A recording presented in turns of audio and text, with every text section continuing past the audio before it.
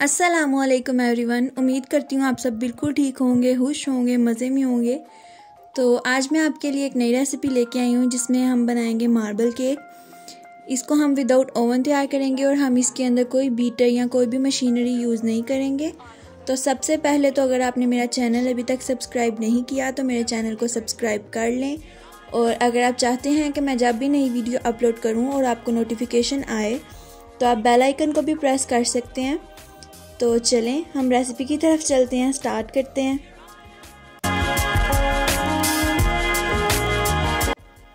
सबसे पहले यहाँ पे हम ले लेंगे चार अंडे। चार अंडों को हम तोड़ लेंगे एक बाउल में। यहाँ पे मैंने चार अंडे तोड़ लिए हैं। इसके अंदर अब हम ऐड करेंगे एक कप चीनी।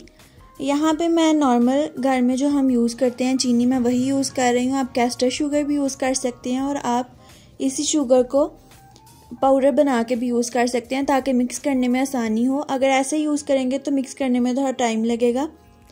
तो ये मैंने एक कप चीनी मैयर करके इसमें डाल दिया इसी कप से मैयरिंग कप में यूज़ कर रही हूँ। आप नॉर्मल कप भी यूज़ कर सकते हैं। लेकिन नॉर्मल कप यूज़ करने का ये है कि आप हर चीज़ सेम कप से मैयर करें। तो इसमें मैंने एक कप ऑयल भी ऐड कर दिया है। अब हम इसको अच्छी तरह मिक्स करेंगे।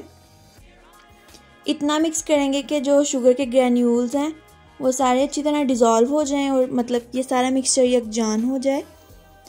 तो यहाँ पे ये देखें, मैंने तकरीबन इसको 10 मिनट के लिए मिक्स किया था।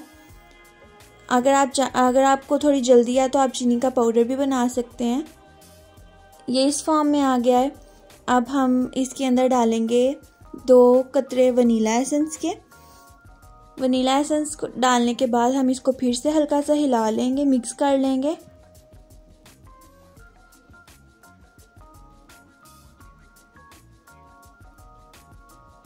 अब यहाँ पे मैंने इसके अंदर डाला है दो कप मैदा। मैंने सेम उसी कप से मैयर किया है।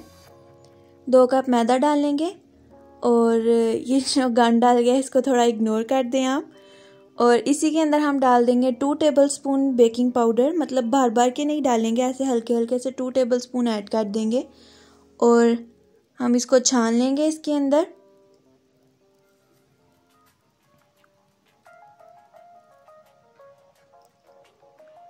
छानने के बाद अब हमने इसको मिक्स करना है।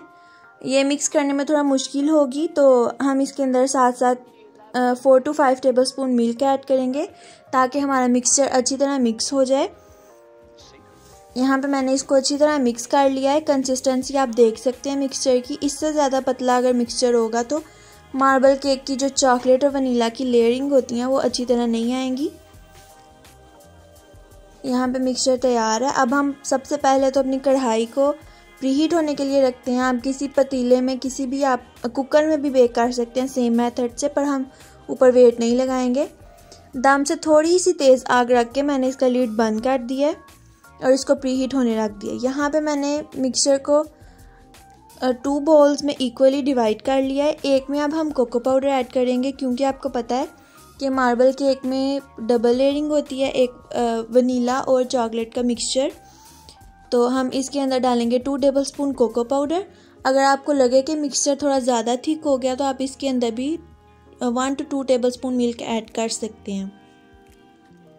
यहाँ पे मैंने ले लिया एक सिलिकॉन का मोल्ड आप किसी भी मोल्ड में बना सकते हैं। यहाँ तक कि आप, आपके घर में जो बर्फ़ जमाने वाला कोला होता है, आप उसमें भी बना सकते हैं। मैं उसमें पहले भी वीडियो बना सकी हूँ। अगर आप मेरे चैनल को विज़िट करेंगे तो आपको वो वीडियो आसानी से मिल जाएगी। यहाँ पे अब हमने मिक्सचर डालना है। सबसे पहले हम वनीला की लेयर डालेंगे और उसके बाद चॉकलेट की। और इसी तरह हम इस सारे मिक्सचर को ख़त्म कर लेंगे। एक एक लेयर बनाते हुए। मतलब पहले वनीला फिर चॉकलेट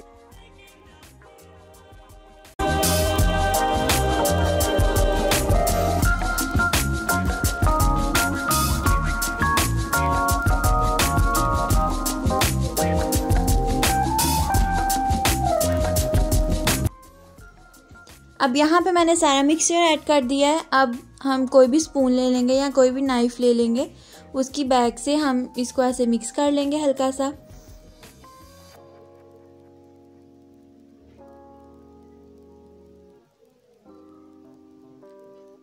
मिक्स करने के बाद अब हमारी कढ़ाई रखे हुए भी फाइव टू सेवन मिनट्स हो गए हैं और वो प्री हीट भी हो गई है तो अब हम इसको कढ़ाई में रख देंगे। और ऊपर से लीड बंद कर देंगे। ये जो छोटा सा होल आपको नज़र आ रहा है, इसको भी कवर करने की ज़रूरत नहीं है। ये है थर्टी मिनट्स के बाद केक की लुक और अब मैं आपको दिखाती हूँ, मैंने ओवन में भी एक छोटा सा तैयार किया था। ये मैंने सिर्फ़ इसलिए तैयार किया था कि मैं आपको दिखा सकूँ कि ओवन में और कढ़ाई में या मतलब जिसके पास ओवन अवेलेबल नहीं होता, वो चूल्हे पे भी आसानी से बना सकता है। और ओवन में भी सेम रिज़ल्ट आता है और कढ़ाई कढ़ाई में भी। यहाँ पे अब कढ़ाई वाला भी तैयार हो गया। तकरीबन इसको 50 मिनट्स लगे थे। और अब ये बिल्कुल तैयार है। मैं इसको गरम गरम निकाल रही हूँ। आप थोड़ा ठंडा कर लीजिएगा। निकालने के बाद आप ये देखें कितना अच्छा तैयार हुआ है।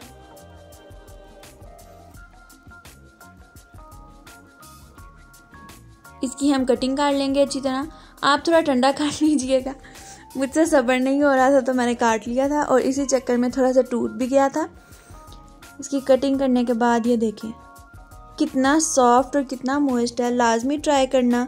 अगर ट्राई करेंगे तो मुझे इंस्टाग्राम पे लाजमी पिक्चर दिखाना, मैं एंड पे इंस्टाग्राम अकाउंट भी ऐड कर दूँगी। और अगर मेरे चैनल को सब्सक्राइब नहीं किया तो सब्सक्राइब कर लें, क्योंकि मैं आप बहुत अच्छी अच्छी वीडियोस लेके आऊँगी आपके लिए। और अगली रेसिपी किस चीज़ की होनी चाहिए वो भी लाजमी बताइएगा। अल्लाह हाफिज़।